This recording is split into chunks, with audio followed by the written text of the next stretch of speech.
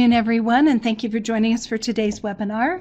We're going to be talking about back pain today, which is a major problem for a lot of people.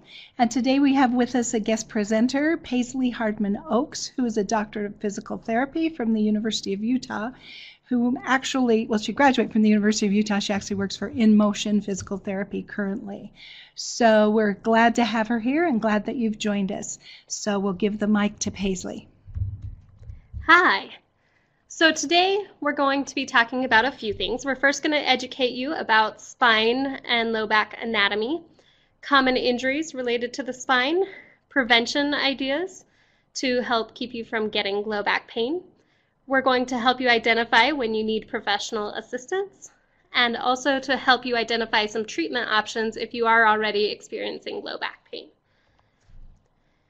Some general info is that Americans spend at least 50 billion each year on low back pain between treatments and medications and other things. Low back pain is the leading cause of disability in the United States.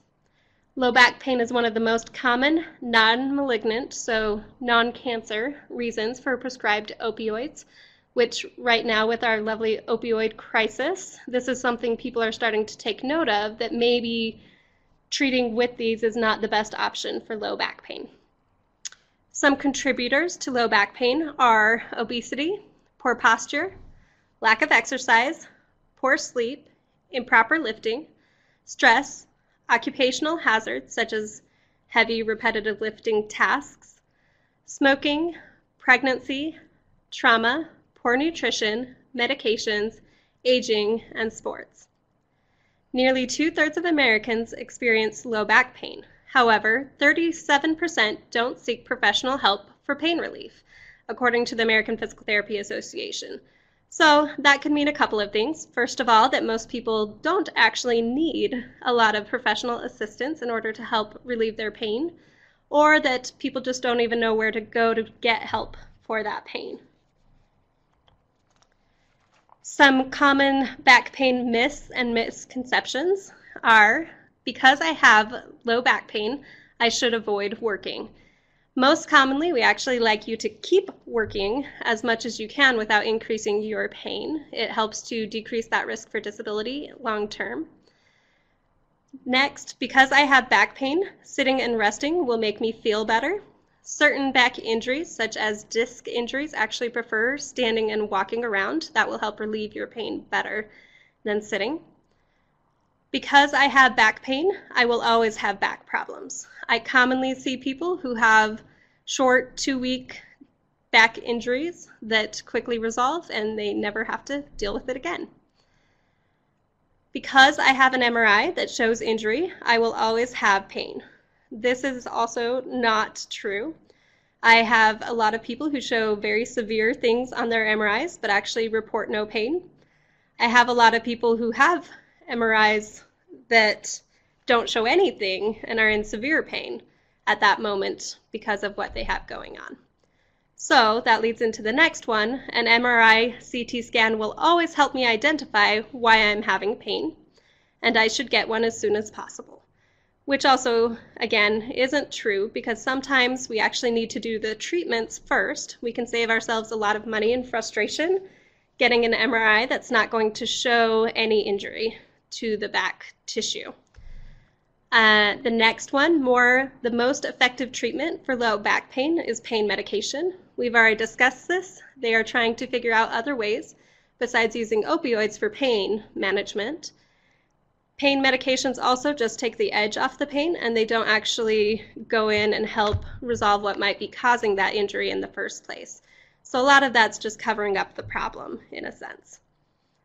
And last, an injury to my back will cause pain in my back. Occasionally I have people with severe injuries that are actually causing pain down their legs, no pain in their back, but it's actually coming from their back and they get confused by that. So I like you to understand that could be going on.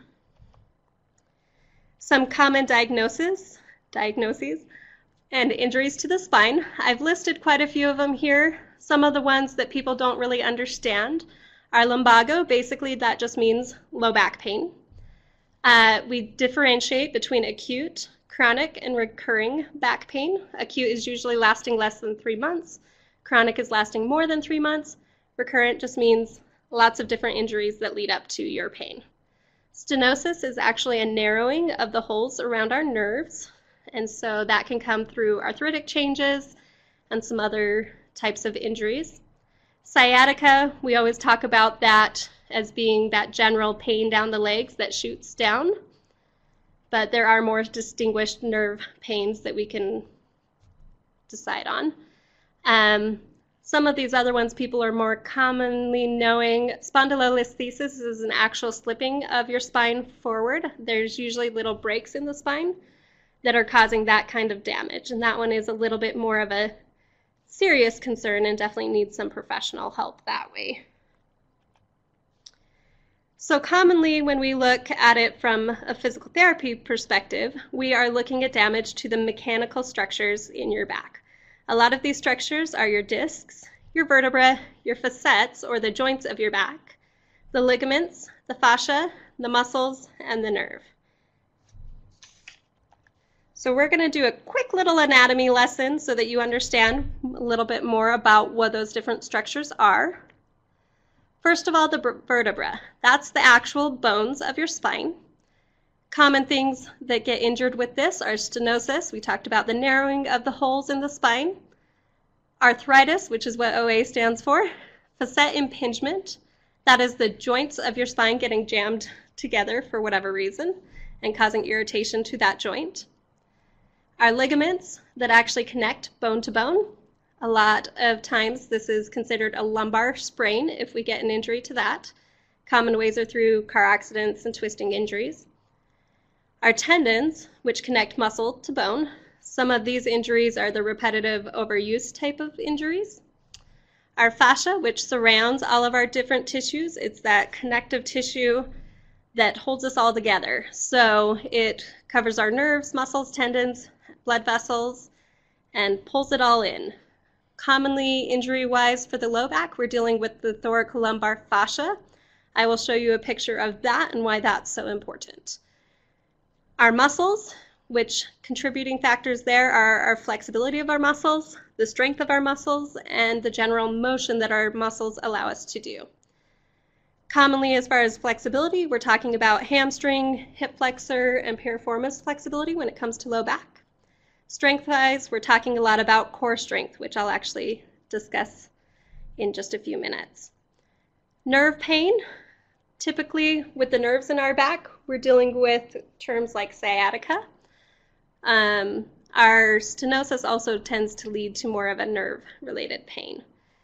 This is where the sensation of our back comes from and the motor control or that sense to our muscles to tell us to move coming from the brain is coming through our nerves in our back.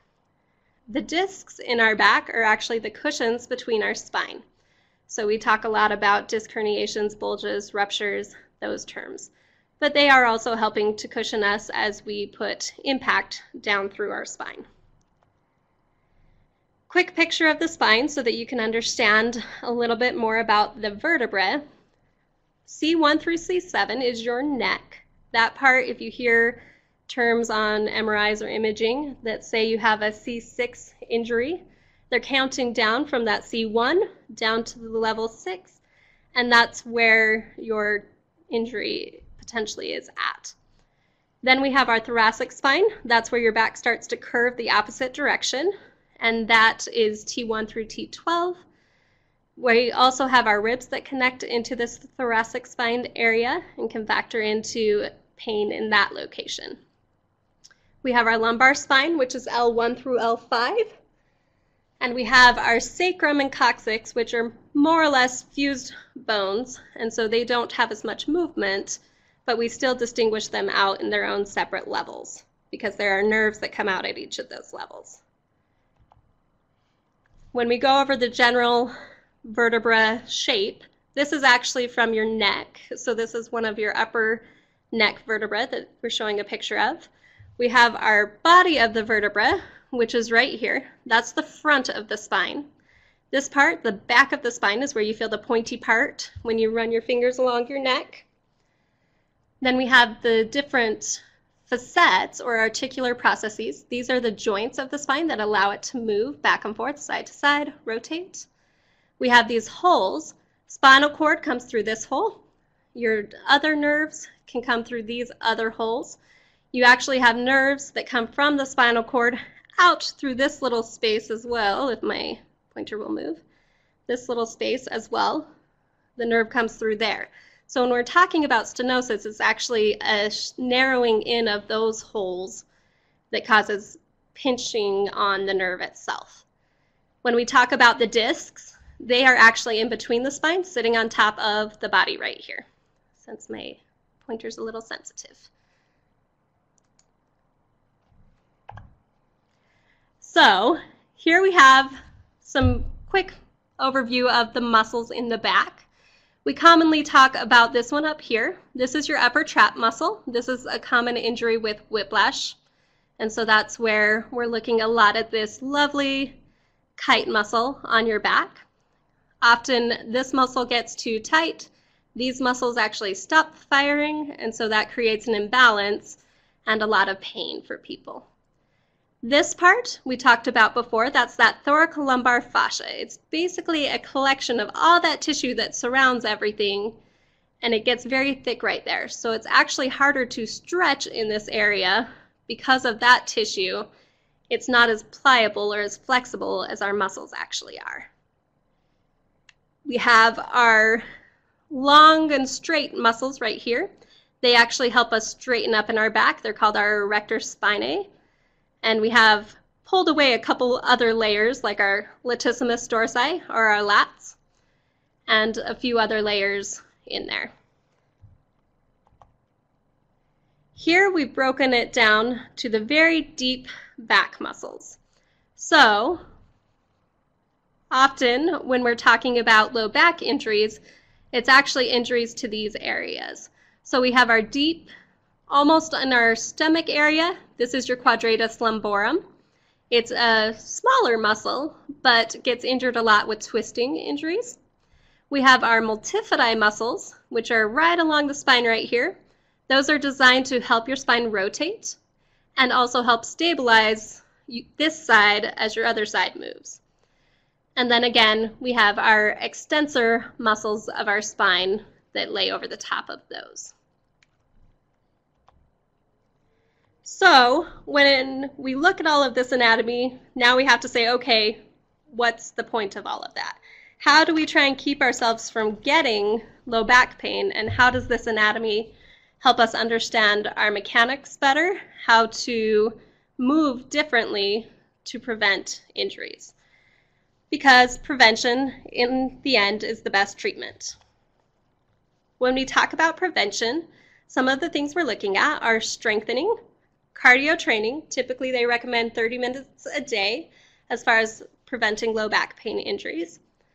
Correct lifting techniques, correct posture, strengthening, or excuse me, stretching and flexibility, good nutrition, sleep, stopping or reducing smoking, and limiting bed rest. I will be discussing a few of these categories, but not all of them. First one, strength. When we talk about trying to prevent low back pain, we talk a lot about core strengthening. A lot of my patients don't really understand what this means, so I thought I'd explain it. I like to think of it like a big box. We've got the top of our core is our diaphragm that sits right underneath your rib cage and it helps us with breath control, but it actually also creates stability to the top of that box. The front of the box is our abdominals, and we definitely don't want to forget our transverse abdominis, which I will discuss in the next slide. We talk about our back muscles. So these are our extensors, those muscles that help us straighten up, the stabilizers and the rotators, so all those little tiny ones that we talked about on the sides of the spine. And all of those in the back also help to keep strength, especially as you are lifting and twisting. We've got the sides of our core, which is our oblique muscles. Commonly, we use our side planks to try and strengthen those. The one that's becoming a big subject in physical therapy are these lovely pelvic floor muscles, and we're going to talk a little bit more about those and how we can make sure we factor that in when we are doing our core strengthening. So the transverse abdominis. This is a muscle on the front of our stomach. It's deep inside there. So we often think about our rectus abdominis, which is your six pack. People think that to strengthen their abdominal muscles, they need to do crunches and sit-ups. And all those, those work one muscle, they don't actually work this one. And this one is a big part of supporting our low back, our spine. So we want to make sure we know how to activate it. The easiest way is to take your fingers and find the pointy part in the front of your hip and then just move your fingers slightly inside of that. When you pull in your belly like you're pulling on a tight pair of pants, you should feel that muscle come down away from your fingers and basically contract back and in. Almost like you're putting on a corset nice and tight. This muscle helps to hold and stabilize our low back. Our pelvic floor. So a lot of times in the past we haven't really discussed this, but there are muscles deep inside our pelvis area that do help support the core from below. So we've talked about Kegels in the past with women who are pregnant, but now they are starting to incorporate these into general low back strengthening as well. So as you can see on this, there are a lot of little muscles deep in the bottom of our pelvis area. To activate them, we can Commonly, one exercise is to lie on your back with your knees bent and feet flat on the mat or bed. Contract our pelvic floor muscles as if you're holding back urine or holding back gas. And be sure to perform a full relaxation in between each contraction. So basically, I like to think of it like an elevator.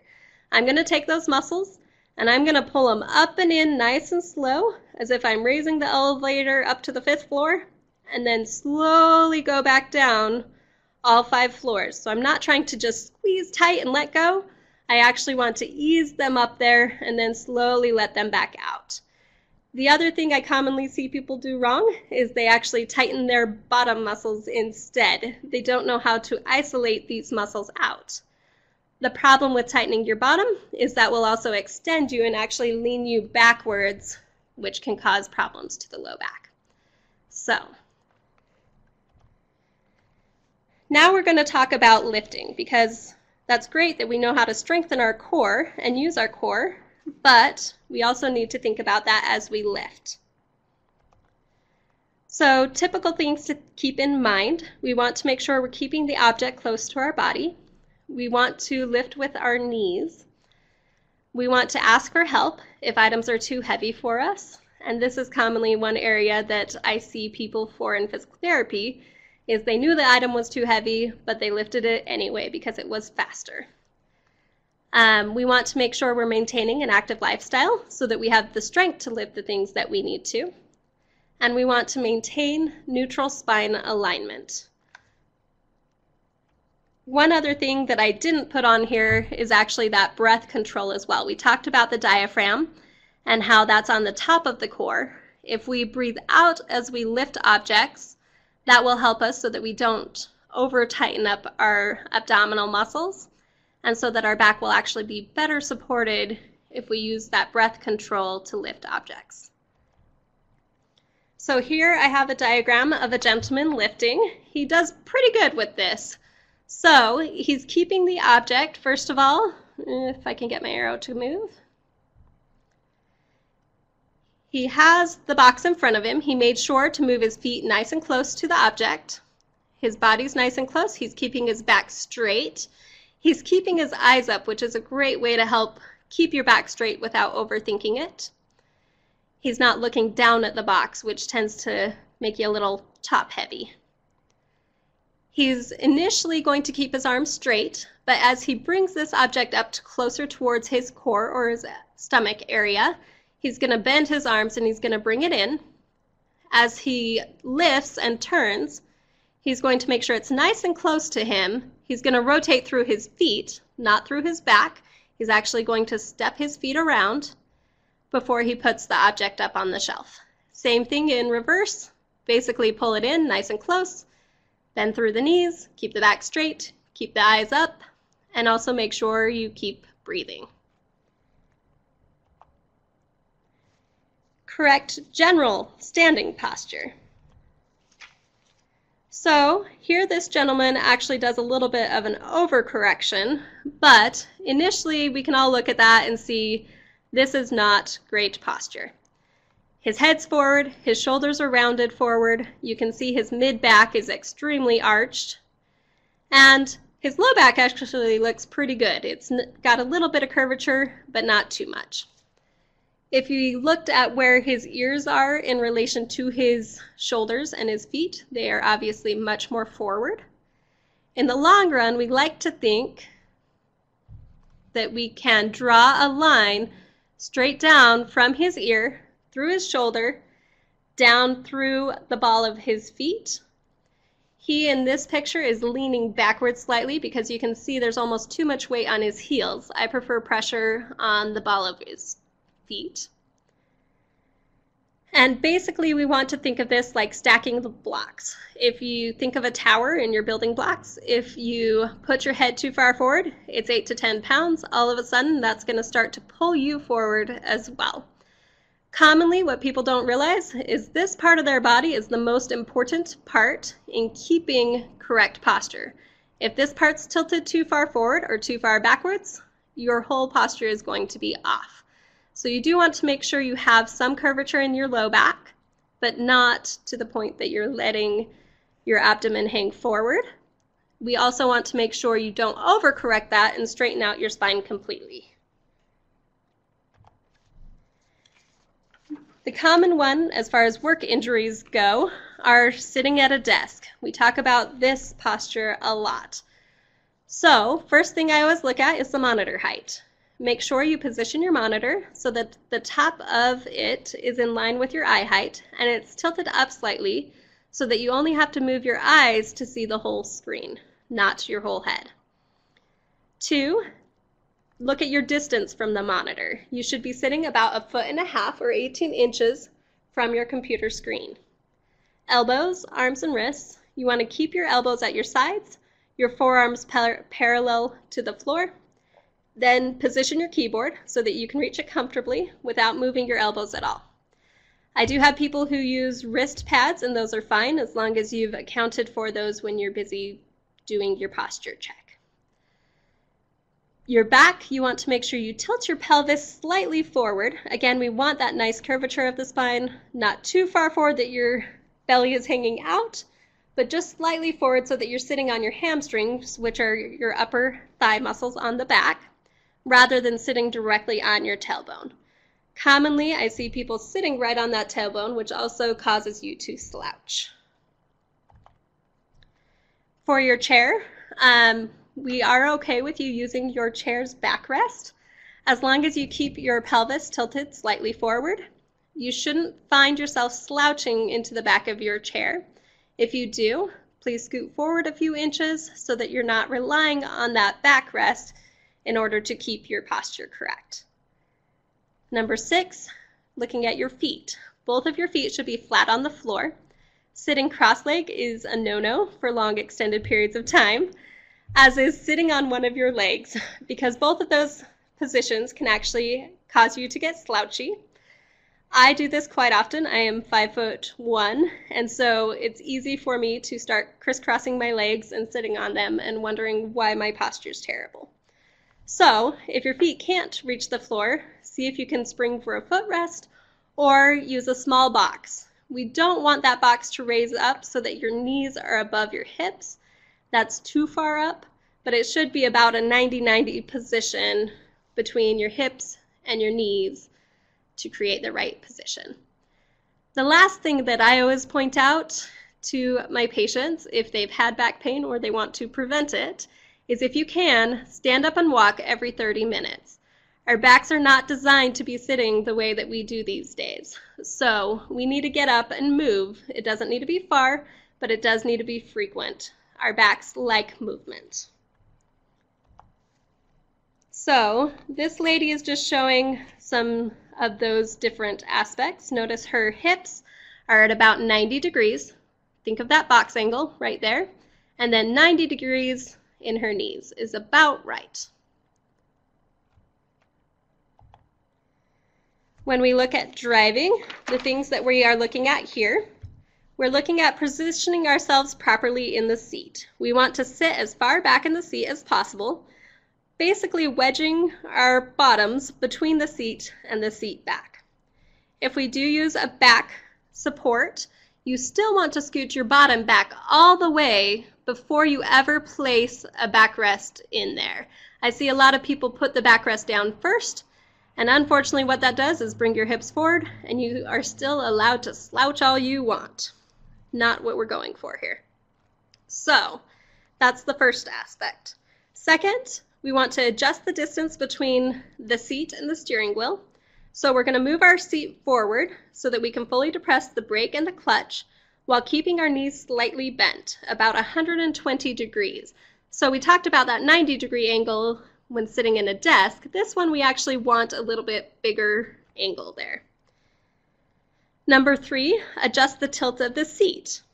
We want to tilt the seat forward or back until the legs, excuse me, until our leg from our hip to our knee is fully supported while the foot is on the gas pedal. So as much as possible, we want all of this supported by that seat. Next, we want to adjust the back of the seat. Our seat should be at an angle that is fully supportive of the length of our back, avoiding reclining too far back because that actually causes us to lean forward to look over the steering wheel and see what's going on on the road.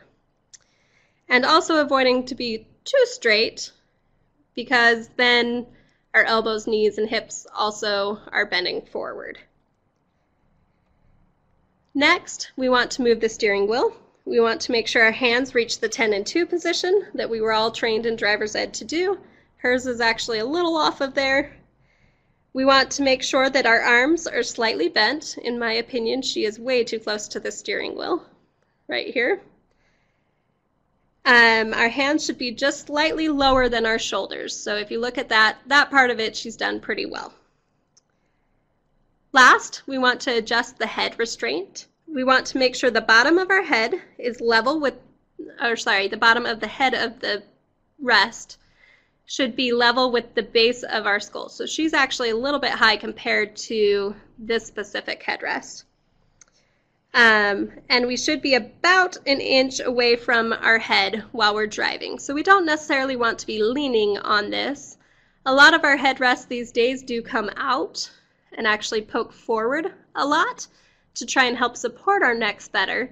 Unfortunately, not all of us are five foot six the way that the cars were made, and so this often actually pushes us so that we get that forward head positioning, and that can cause pain over time if we stay in that position. So because not all headrests are created equal for all of our different heights, we recommend you stay away from that headrest a little bit so that you can keep correct posture. So then we look at posture with sleeping. As you can see, people sleep all different kinds of ways. So general ideas for sleeping for better back alignment, which these do change slightly depending on certain back injuries. But prior to a back injury, we want to think one to two pillows under our legs, keeping our heels free floating. So we don't want pressure on our heels all night. That can cause sores to the back of our heels. Um, we want to make sure that if we do put a small towel roll underneath our back, that again, it's not under our bottom area, it is under the arch of our back, and it shouldn't be pushing us more forward than that natural curvature of our low spine. We want to avoid too many pillows under the neck.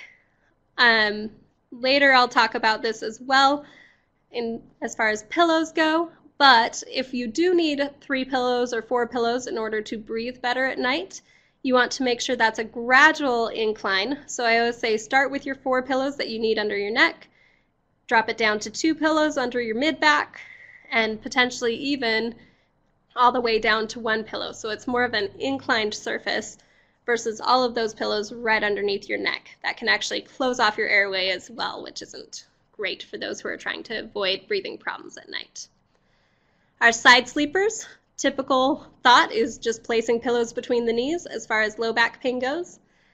There are all kinds of pillows designed for the side sleepers as far as the neck goes, but right now we're mostly speaking about low back.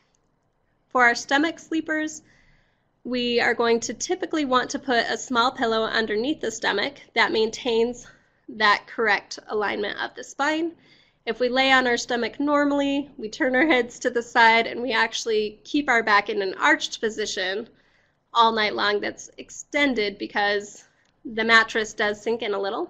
So then it ends up to be too much curvature in that spine all night. So a little pillow under the stomach can help that part. As far as mattresses and pillows go, for both areas, there isn't a perfect mattress or a perfect pillow for everyone. I get asked this commonly what is your favorite mattress to tell people to sleep on? What is your favorite pillow? There's not really an answer to that. However, typically a medium firm mattress is best for those individuals with low back pain due to soft mattresses not giving us enough support. The other thing is, if your mattress is too old, it's not supporting you, so change it out. Typically, we talk about every 8 to 10 years, more commonly depending on the mattress. Um, as far as pillows go, again, not a perfect pillow for everyone, but we do want to avoid putting too many pillows directly underneath the neck. That can also cause issues to our low back due to positioning of the spine. So if you do need them, make sure you do it in a gradual incline. The pillows should also be changed more frequently than most of us do. They recommend every two to five years for most pillows. They also lose their support over time even all your fancy ones.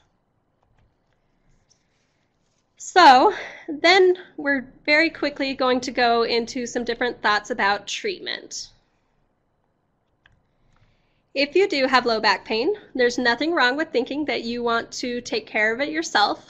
If your pain is less than five days, if it's mild to moderate intensity, then by all means, try and self-treat.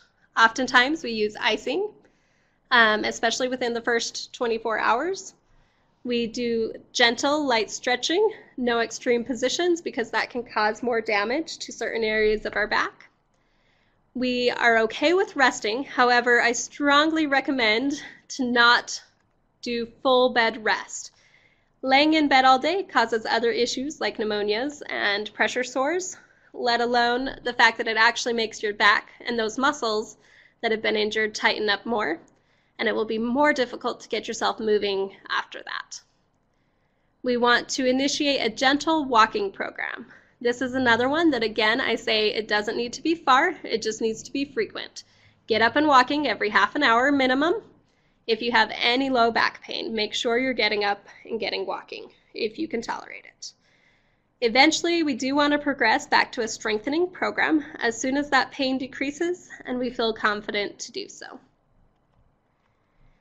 However, if our back pain does last more than five days or is in severe intensity, we do recommend that you go see your primary care or your physical therapist to decide better treatment options for you. Please see your doctor immediately if you have any of the following legs giving way due to weakness, change in bowel or bladder control, unexplained weight loss or gain, fever, numbness in the groin or inner thigh. If you have any of those symptoms, please don't try to self-treat at that point. Some other treatment options that we have, we have physical therapy, acupuncture, massage therapy, chiropractics, self-care as we already spoke about. We can see our athletic trainers if we're younger athletes getting injured. We can potentially get pain medications through our doctors temporarily to get on top of that pain. We can get injections or surgeries in extreme cases. We can see pain management specialists that are designed to help manage that pain a little bit better for us. We can see personal trainers that may have some injury prevention training, uh, fitness instructors. We can also try meditation and relaxation techniques. Oftentimes, these low back injuries are muscular. That is the most common reason for low back pain. So learning how to actually relax and de-stress can go a long way for getting your back feeling better faster. And this is my information. If anybody has any further questions. Thank you very much for your time. Thank you, Paisley, and thank you all for joining us this afternoon. And um, we'll see you next time.